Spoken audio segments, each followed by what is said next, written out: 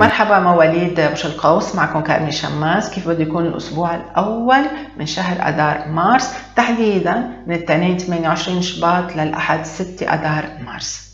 هذا الأسبوع الشمس موجودة برج الحوت البيت الرابع بالنسبة لكم في عنا نيومون قمر جديد عم بيخلق عم يولد. مساء الأربعاء اللي هو سبعة نص المساء توقيت بيروت. فكيف التأثيرات؟ خلونا نبدأ.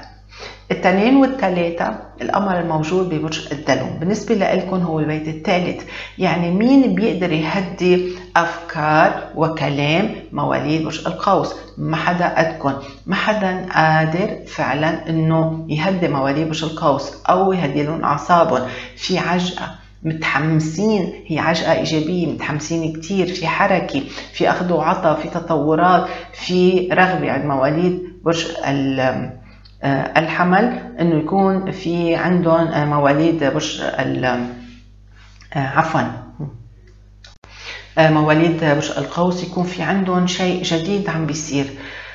الدلو بالنسبة لكم البيت الثالث سرعة خاطر سرعة تصرف. سرعة تواصل سرعة حل الأمور استيعاب الأمور. لكن بدكم تنتبهوا أنه السرعة ممنوعة خاصة كمان الكلام المتسرع لأنه معقولة يأذي الناس الأقرب والأعز لكم فكونوا منتبهين.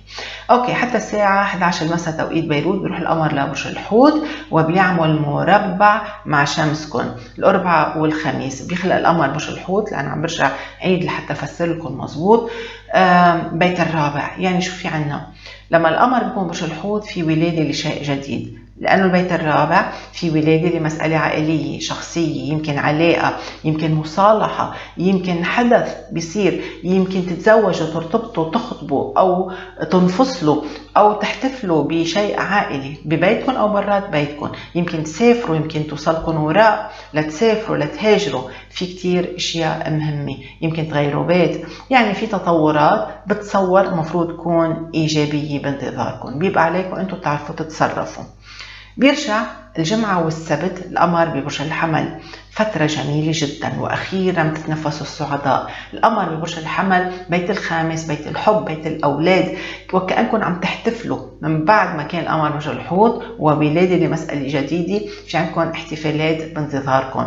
فترة نجاح ما بتفرق عمركم. أولاد صغار كبار ما بتفرق بالجامعة برات الجامعة بالمدرسة. يبدو كأنه في شيء جديد. بتسمعوا جوابه إن كان إيميل إن كان حدث إن كان موعد. عم بحكي عن الجمعة والسبت. فيهم يكونوا من أجمل أيام هذا الأسبوع. الأحد. الأحد تحديدا الساعة 11 صباحا توقيت الساعة 10 صباحا توقيت بيروت. القمر بيروح لبرج لبرج الثور. بيترك برج الحمل بيروح لبرج الثور يلي هو بالنسبة لكم البيت السادس. هون بده يكتر الشغل بدكم تعملوا حساب إنه يوم الأحد يوم طويل مزعج. يمكن تقضوه عم تساعدوا أولادكم إخواتكم عائلكم عائلتكم أهلكم أو حدا عزيز عليكم أو حدا قريب منكم يكون أحد الجيران. فاعملوا حساباتكم. هو أسبوع مهم لكن الشمس بحد ذاتها الموجودة في البيت الرابع هي اللي بتخلق المسؤوليات ويلي بتخربط لكم حساباتكم.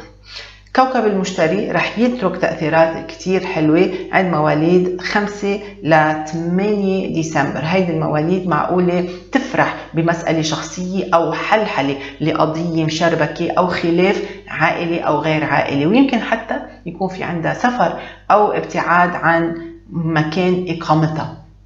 مطرح ما هي؟ يمكن تسافر يمكن تروح فترة طويلة يمكن تكون إجازة طويلة. فكونوا منتبهين. أسبوع جيد استفيدوا منه.